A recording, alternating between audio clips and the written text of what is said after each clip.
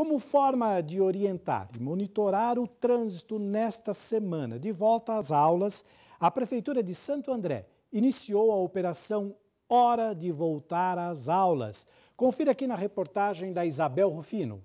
Com o objetivo de monitorar e orientar motoristas de carros particulares, condutores de vans escolares e pedestres quanto à segurança no trânsito, a Prefeitura de Santo André lançou a Operação Volta às Aulas serão feitas abordagens para distribuição de material educativo, instalação de faixas informativas e orientação às equipes gestoras das instituições de ensino. A ação será intensificada por um período de 15 dias, se estendendo regularmente ao longo do ano letivo.